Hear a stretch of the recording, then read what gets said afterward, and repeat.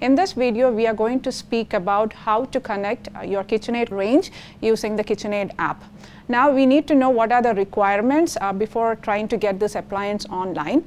First, you will need a Wi-Fi router which will support the 2.4 gigahertz Wi-Fi band. We also recommend uh, that this router has to be located within 30 feet from the appliance.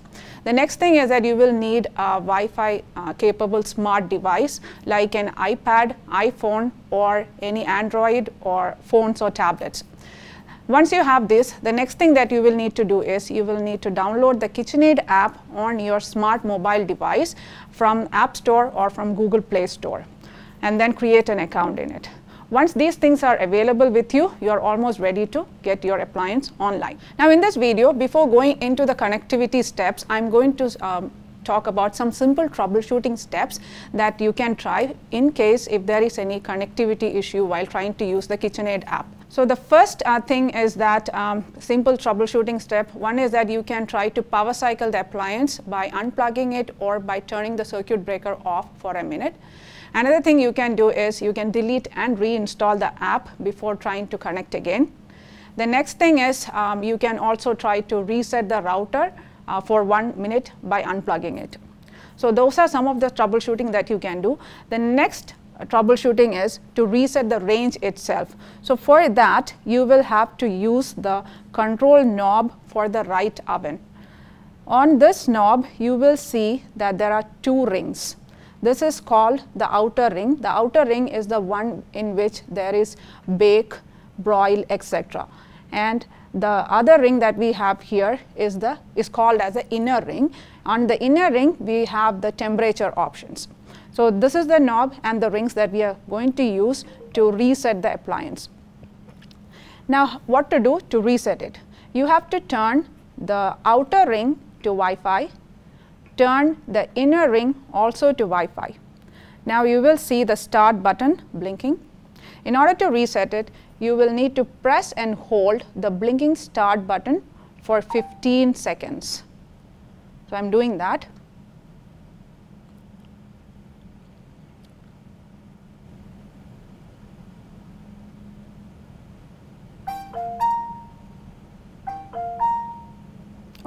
So it is 15 seconds and when the appliance got reset, it produced a chiming sound, which is an indication that the appliance is completely reset. These are some of the troubleshooting steps that you can do in case if you are facing connectivity issues with the app. Now, once that is done, I'm going to turn the rings to the outer ring to the clean position and the inner ring to the off position, which is going to be the default state of the uh, rings on, on this knob. Now we have seen the troubleshooting steps. The next major phase of, of this video is how to connect the appliance using the KitchenAid app. For this video purpose, I'm using an iPhone and I've also got the KitchenAid app installed in it with an account created. Another thing that you will need to make sure is that whatever mobile device that you're trying to connect the appliance, that phone or iPad or tablet has to be connected to your home 2.4 gigahertz Wi-Fi network. So right now I am looking at my phone uh, Wi-Fi settings and I'm sure that it is right now connected to the 2.4 gigahertz network. In case if your phone gets connected to the 5 gigahertz or if it switches to the 5 gigahertz Wi-Fi during the connection process, the we will not be able to make the appliance online. So it is a very important information. Always make sure that your phone remains connected to the 2.4 network during the entire connection process. Since uh, the next step that we are going to do is we are going to use or open the KitchenAid app on my phone and I'm on the appliances page of the app screen. On that page, you will see the op plus option or add appliance. That is the option we will need to choose in order to start the connection process. So I'm going to tap on the plus option. Now we got another app screen where the app wants to know what kind of appliance we are trying to connect. So I'm going to tap on the range option. In the next app screen, it is giving us instructions on how to locate the QR code sticker on this appliance. So you can read through the instructions, understand it, and then look for the QR sticker on the appliance. For this range, you have to open the right oven door. I'm going to, I'm doing that. And you can see the QR sticker right here.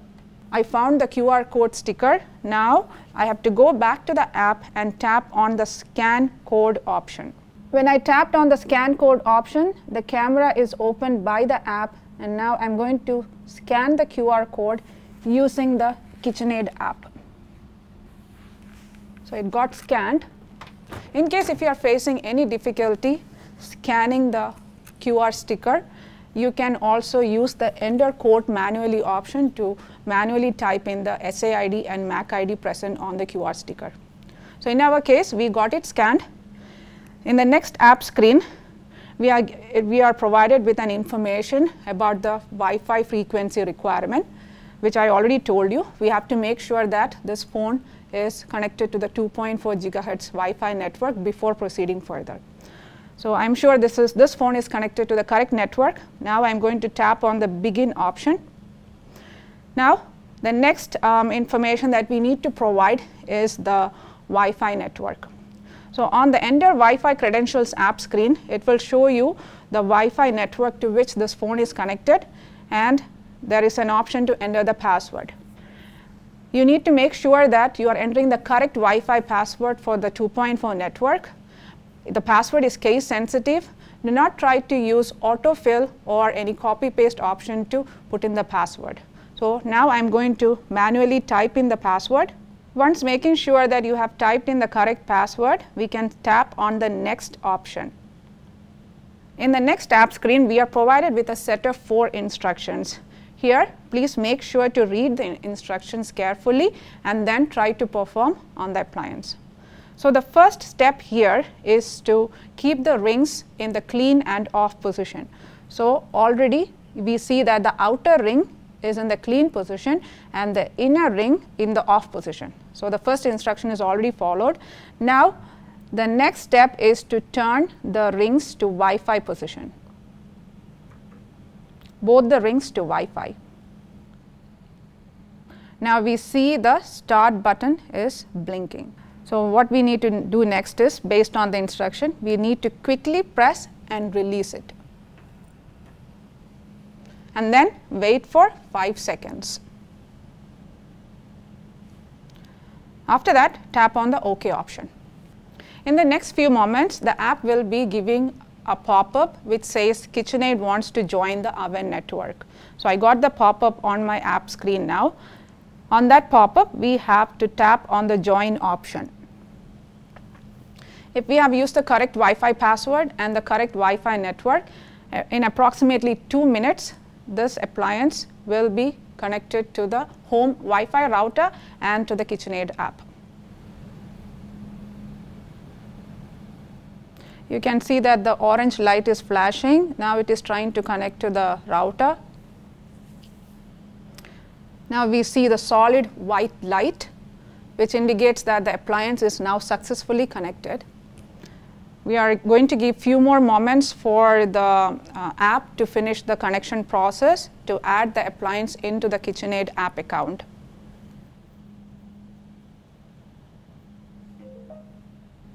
So now you will see that the lights are turned off, but that's normal.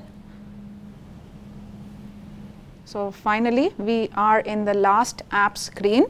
Um, it says the appliance is successfully added. Congratulations. Now you have an option to name your appliance. You can give any name of your choice. So I'm just going to call it range and then tap on the done option. Now on the app screen on the appliances page of the app screen you will be able to see that uh, the left oven and the right oven appearing in ready to cook which indicates that this appliance is finally online in the app account. So by this, we have finished the connection process. We have successfully added the appliance into the KitchenAid app. Now, in the next part of the video, I'm going to talk about how to remote enable the appliance. Now, on this app screen, you can see the remote enable icon. It appears like a square with um, arrow in, uh, with a triangle inside it. Now it is appearing to be in gray color with a line through it, which indicates that the remote enable is currently turned off. So the next thing we need to know is how to enable remote on the appliance. So, for that we have to go to the actual physical appliance. On the oven again we are going to use the control knob for the right oven. We always have to start from the clean and off position. So, I am going to put the outer ring in the clean position and the inner ring in the off position. So, it will make a turn off sound. Now, I am going to turn and keep both the rings in the Wi-Fi position. In a few moments, you will see the start button blinking. We are going to quickly press it and release it. When we do that in the next few moments, if you look at the app, you will see that the remote enable icon is in the on state. So, you right now we see that the icon has the color red which indicates that the remote enable is now on. At this point your app is ready to remote control the appliance. That means you will be able to start cycles from the app wherever you are. You do not have to be near to the appliance. Now the next part of the video is I am going to show you how to start a simple cycle by just using the app. I am going to um, start the cycle on the right oven. So, on the app I am going to tap on the image of the right oven.